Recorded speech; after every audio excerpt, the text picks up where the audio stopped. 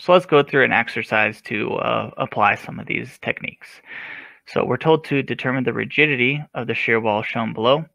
Piers are fixed fix and are 12 inches in thickness. We're told to assume the diaphragm is rigid and use E equals 4500 KSI.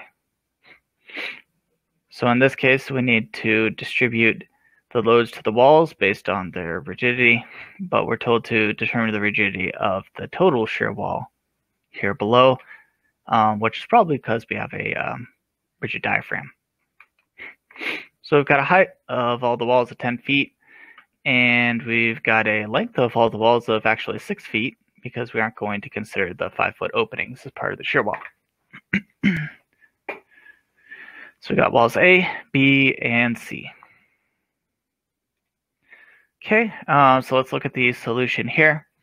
So first, we're going to determine the rigidity of each individual shear wall. Since walls A, B, and C have the same geometry and the same material properties, this step only needs to be completed once. So we also need to keep in mind that rigidity is the inverse of deflection. So R equals 1 over delta, or 1 over deflection.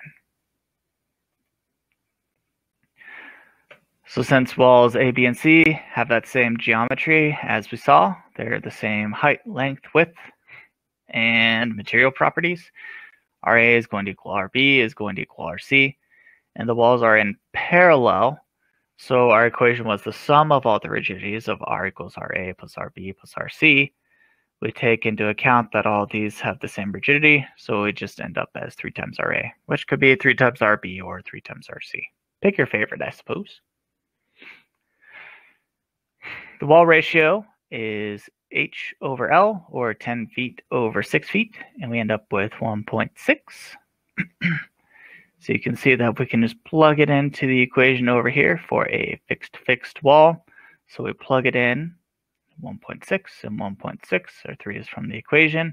We are told that the modulus elasticity was 4500 ksi, and the thickness was 12 inches. Make sure that your units cancel out here too as well they could give it thickness in feet. Um, so you may have to multiply by a conversion factor.